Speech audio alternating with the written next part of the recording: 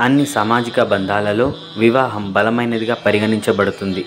గృహస్థాశ్రమం అని పిలువబడే గృహ జీవితానికి తలుపులు తెరిచే ఇద్దరు ఆత్మలను ఆధ్యాత్మికంగా విలీనం చేయడం.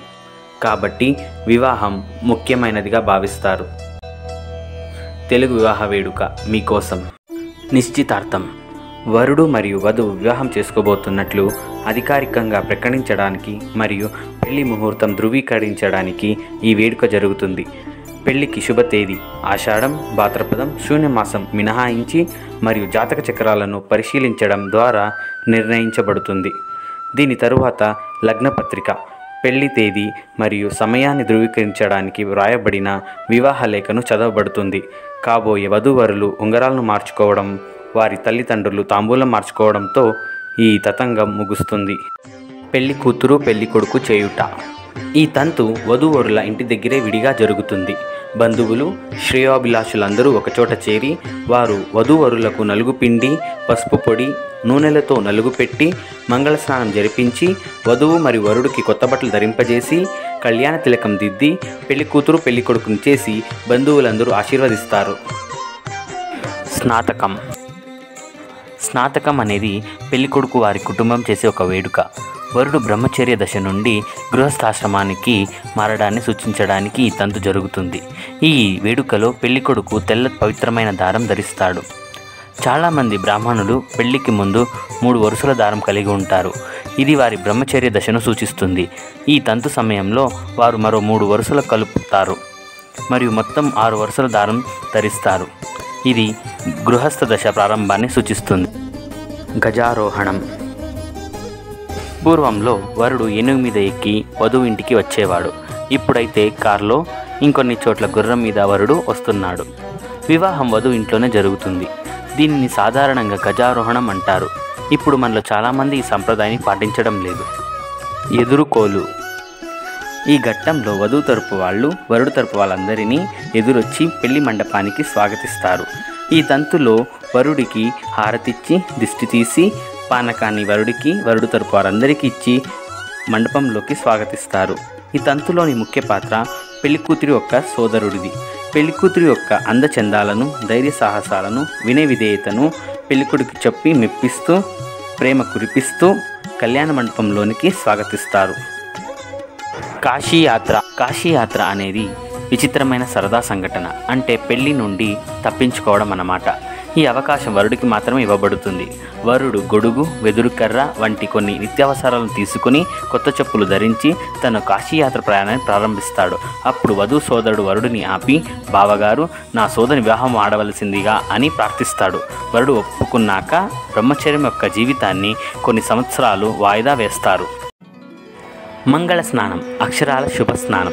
వధూవరులు తమ పెళ్ళి రోజున మంగళ స్నానం చేసుకోవాలి.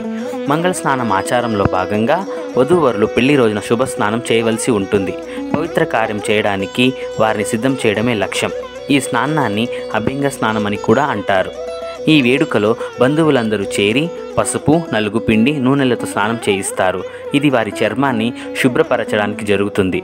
తద్వారా వారు స్నానం చేసిన తరువాత ఇది సహజమైన కాంతిని ప్రసరిస్తుంది. ఇక్కడే అసలు వేడుక ప్రారంభమవుతుంది. వారు ధరించడానికి కొత్త దుస్తులు ఇస్తారు. అసలు పెళ్ళి వేడుక ఇప్పుడే మొదలవుతుంది. మంగళ స్నానం తర్వాత ఇచ్చేది హారతి. మంగళ స్నానం తరువాత ముత్తైదువులందరూ చేరి వధూవరులకు మంగళ హారతిని ఇస్తారు. వధూవరులు తమ జీవితాలను సంతోషంగా గడపడానికి జ్ఞానం ఇవ్వమని వారు దేవుడిని ప్రార్థిస్తారు. గణపతి మరియు గౌరీ పూజ. వివాహ వేడుకకు ముందు వరుడు గణపతి పూజకు హాజరవుతాడు. దీన్ని పెళ్ళి మండపంలో నిర్వహిస్తారు. మరియు వధువు గౌరీ పూజను తన కుటుంబ సభ్యులు మరియు బంధువులందరితో కలిసి పెళ్ళి వేడుకకు వెళ్ళే ముందు హాజరవుతుంది. ఈ సమయంలోనే ప్రవర అనే తంతులో వధువు తన పితృగోత్రం నుండి వరుడి గోత్రంగా మార్చే తంతు నిర్వహిస్తారు. వధువు గౌరీ పూజలు చేస్తున్నప్పుడు రెండు కుటుంబాలకు చెందిన వృద్ధ జంటలు ప్రవరాకు హాజరు కావాలి. మధుపరకాలు. గౌరీ గణేష పూజలు తర్వాత వధూవరులు తమ తమ గదులకు బయలుదేరి మధుపరకం ధరిస్తారు. అంటే ముహూర్తం యొక్క బట్టలు అన్నమాట ఈ మధుపరకం ప్రాథమికంగా ఎరుపు పసుపు లేదా ఆకుపచ్చ అంచుతో ఉన్న తెల్లటి బట్టలు. తెలుపు రంగు స్వచ్ఛత లేదా విధేయతను సూచిస్తుంది మరియు ఎరుపు పసుపు ఆకుపచ్చ బలాన్ని సూచిస్తుంది. ఏదైనా వివాహం యొక్క ముఖ్యమైన లక్షణాలే. వారు కొత్త దుస్తులు ధరించిన తరువాత వధువరు తదుపరి ఆచారాల కోసం మండపానికి తిరిగి వస్తారు. కన్యాదానం అనేది అమ్మాయి కుటుంబం వారి కుమార్తె యొక్క బాధ్యతను వరుడికి అప్పగించే వేడుక. ఈ వేడుకలో వధువు వెదురు బుట్టలు కూర్చుంటుంది. ఆమె మేనమామ ఆమెను మండపానికి తీసుకువస్తాడు. కన్యాదానం పూర్తయ్యే వరకు వధూవరులు ఒకరినొకరు చూసుకోవడానికి అనుమతించబడరు. వీరి మధ్య తెరసాల ఉంటుంది. ఆ తర్వాత వధు తల్లిదండ్రులు వరుడి పాదాలు కడిగి గౌరవార్థకంగా పెళ్ళి కొడుకు శ్రీ మహావిష్ణు స్వరూపంగా భావించి తమ కుమార్తెను వివాహం చేసుకోవడానికి వచ్చిన శ్రీ మహావిష్ణు అవతారంగా భావిస్తారు. పెళ్ళి కూతుర్ని శ్రీ మహాలక్ష్మిగా భావిస్తూ అప్పగిస్తారు. వరుడు ధర్మేచ అర్థేచ కామేచ మోక్షేచ నాతిచరామి అని మూడుసార్లు జపించి వధువు తండ్రికి మూడుసార్లు భరోసా ఇస్తాడు. జీలకర్ర బెల్లం. తెలుగు పెళ్ళిలో ఇది ప్రధాన కార్యక్రమం. దంపతుల చేతుల్లో జీలకర్ర మరియు బెల్లం కలిపిన ముద్దను ఇవ్వడం ద్వారా పురోహితుడు వేదమంత్రాలు ఉచ్చరిస్తుండగా ఈ తంతు ప్రారంభమవుతుంది. సరిగ్గా సుముహూర్తం వద్ద అంటే వధూవరులు జ్యోతిష్య శాస్త్రంలో నిర్ణయించబడే పవిత్ర సమయంలో ఈ జంట జీలకర్ర బెల్లం ముద్దను తెరసాలపై నుండి ఒకరి తలపై ఒకరు పెట్టుకుంటారు. ఈ జంట ఇప్పుడు అధికారికంగా ప్రకటించబడుతుంది. ఆ తరువాత పరదాను తొలగించబడుతుంది. ఈ జంట యొక్క సంబంధం ఇత్తడితో కట్టబడిందని భావిస్తూ ఈ వేడుకను సరిగ్గా వివాహ ముహూర్తం సమయంలో చేయాలి. పాణిగ్రహంలో పెళ్ళి కొడుకు పెళ్ళి కూతురి యొక్క కుడి చేయి పట్టుకుని వరుడు జపిస్తాడు. ధర్మేచ అర్థేచ కామేచ మోక్షేచ అహం ఏవం నాతి చరామి. దీని అర్థం అనేక కోరికలు ఆనందాలు మరియు దుఃఖాల మధ్య భర్త తన భార్యతో ఎప్పటికీ ఉంటానని వాగ్దానం చేసినట్టు. పాణిగ్రహం అంటే చేతులు పట్టుకోవడం. వరుడు వధువుని చేతి పట్టుకుని మంత్రం ఉచ్చరిస్తూ నేను గృహస్థుడి జీవితాన్ని నీతో గడపడానికి దేవతలు అనుమతిస్తూ మేము ఒకరికొకరు విడిపోము అని వాగ్దానం చేసుకుంటారు. ఇదే పాణిగ్రహణం వధువుతో కూడి పది మంది ముత్తైదువులు ఈ సుమంగళి పూజను చేస్తారు. ఈ పది మందిలో ఆరుగురు పసుపు కలిపిన బియ్యం పట్టుకుని మిగిలిన నలుగురు ముత్తైదువులు దీపం వెలిగించిన పళ్ళెం పట్టుకుని మంచి ఆరోగ్యం కోసం పూర్వీకుల సుమంగళి మహిళల ఆశీర్వాదం కోరి సుమంగళి పూజ చేస్తారు. బియ్యం సమృద్ధిని సూచిస్తుంది వెలిగించిన దీపాలు కాంతిని సూచిస్తాయి. పూర్వీకుల సుమంగళి మహిళలు కోరికలు నెరవేర్చి సంతృప్తిపడి వారు కొత్త జంటను ఆశీర్వదిస్తారని వారి నమ్మకం. మంగళసూత్ర ధారణ వరుడు మంగళసూత్రాన్ని తీసుకొని పెళ్ళి పెద్దల ముందు వధువు మెడలో మూడు ముళ్ళు కడతాడు. ఈ విధంగా వధూవరులు వివాహం చేసుకున్నట్లు అధికారికంగా సూచిస్తుంది. మంగళసూత్ర దారణం అంటే మంగళసూత్రాన్ని కట్టడం. వరుడు మంగళసూత్రం పవిత్ర దారంతో బంగారు బొట్టుని వధువు మెడలో కడతాడు. మంగళసూత్రం దంపతుల శారీరక మానసిక మరియు ఆధ్యాత్మిక సాంగాన్ని సూచిస్తుంది. తెలుగు వివాహంలో వరుడు మంగళసూత్రానికి మూడు ముళ్ళు కడతాడు. మంత్రం యొక్క పరమార్థం. మాంగళ్య తంతు నానేన. ఈ పవిత్రమైన మంగళసూత్ర దారాన్ని మమ జీవన. నా దీర్ఘ జీవితానికి హేతున నువ్వు అవసరం.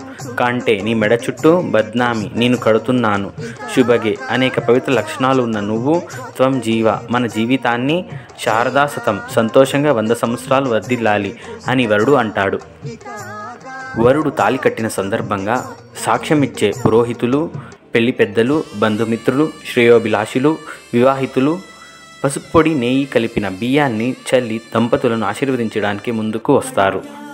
అక్షింతల తర్వాత వధూవరులు దండలు మార్చుకుని తలంబ్రాలు పోసుకుంటారు. ఇది పెళ్ళి యొక్క సరదా భాగం. ఇక్కడ జంటలు మాత్రమే కాకుండా మొత్తం కుటుంబం ఆనందిస్తుంది. ఈ ఆచారంలో వధూవరులు ఒకరి తలపై ఒకరు తలంబ్రాలు పోస్తారు. ఇది ఒక సాంప్రదాయ భారతీయ వివాహ ఆచారం. తలంబ్రాలు మొదటి మూడు సార్లు ఈ జంట ఒకరిపై ఒకరు తలంబ్రాలు సరిగ్గా పోసుకుంటారు. ఆ తర్వాత ఎవరు ఎక్కువ పోస్తారు అనే దానిపై పోటీ అవుతుంది. దీనిలో గులాబీ రేకులు ముత్యాలు రంగురంగుల పూసలు వంటి ఇతర వస్తువులను కూడా బియ్యంలో కలుపుతారు. తలంబ్రాలు ఆట ఆత్మీయులతో స్నేహితులు బంధువులు దంపతులు యొక్క సంబంధికులు సమావేశం అవుతారు ఈ సంఘటన చాలా నవ్వు మరియు ఆనందాన్ని తెస్తుంది మరియు శ్రేయస్సునిస్తుంది. మంగళసూత్ర ధారణ అయిన తరువాత వధువు చీర ఒక అంచును వరుడు కండువ ఒక చివరితో ముడివేస్తారు. దీనినే బ్రహ్మగంటు అని కూడా అంటారు.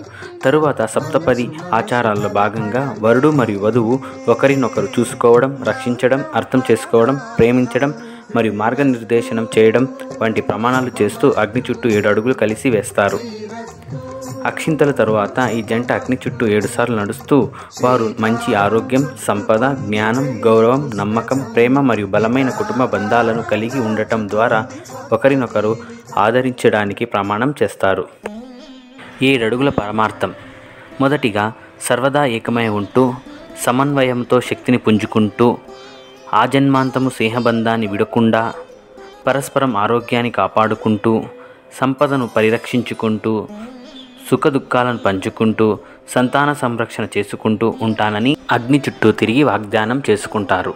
తాళిపాకం. ఈ వేడుకలో మొదట చేయవలసిన పని వరుడు వధువు పాదాల వేలును మెట్టెలతో అలంకరించడం. అలాగే చెడుకను నిరోధించడానికి వధువు వేడుకలో నల్లపూసలు తీగతో అలంకరించబడుతుంది. ఈ నల్లపూసలు వెండి మెట్టెలతో పాటు ఆమె వివాహిత అని సూచిస్తుంది. దీని తర్వాత ఒక బిందెలో పసుపు నీళ్ళు పోసి ఉంచబడుతుంది. దీనిలో ఒక ఉంగరం సామాన్యంగా నిశ్చితార్థపు ఉంగరం వేయబడుతుంది. వరుడు తన కుడి చేతిని లోపలికి పెట్టి వధువు తన ఎడం చేతిని పెట్టి వారు ఉంగరం కోసం చేపలు పట్టాల్సి ఉంటుంది. వారు దీన్ని మూడు సార్లు చేస్తారు. మరియు ఎవరైతే ఎక్కువ సార్లు గెలిచినా వారు వివాహంలో ఆధిపత్యం చెలాయిస్తారని ఒక నమ్మకం. ఇది ఒక సరదా క్షణం.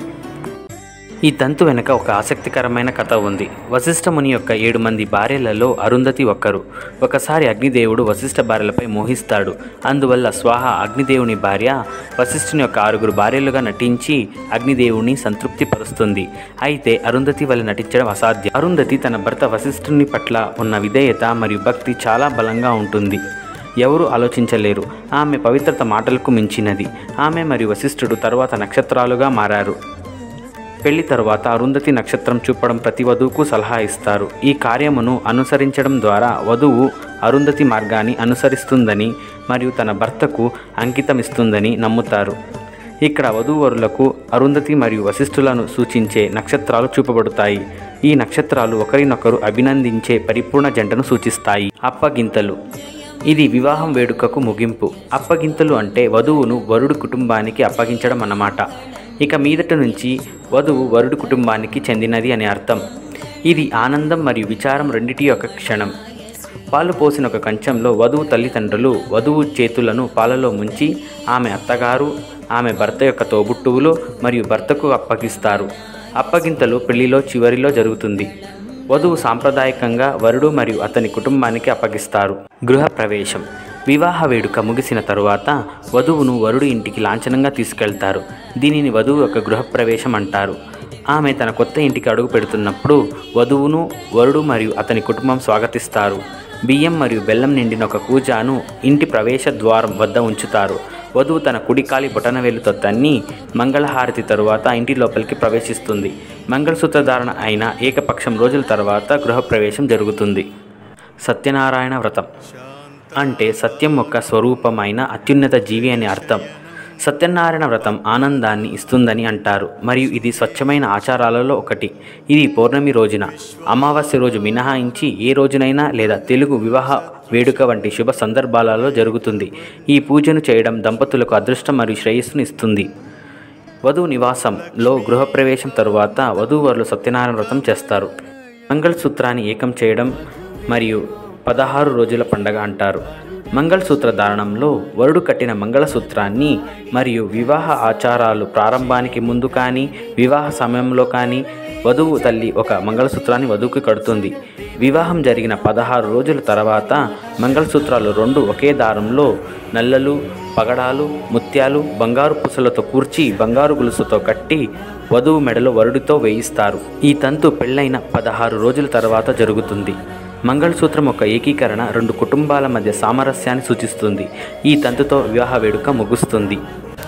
తెలుగు వివాహంలో అనుసరించే ఆచారాలు ఇవి ఇది సాధారణ వివాహం లేదా గ్రాండ్ డెస్టినేషన్ వెడ్డింగ్ అయినా ఒకే ఒక విషయం ఉమ్మడిగా ఉంటుంది. అదే ఆచారాలు. ప్రతి భారతీయుడు పెళ్ళి సమయంలో చేసే ఆచారాలపై సెంటిమెంట్ ఉంటుంది. ఏది ఆచరిస్తే అదే ఆచారం. సర్వేజన సుఖినోభవంతు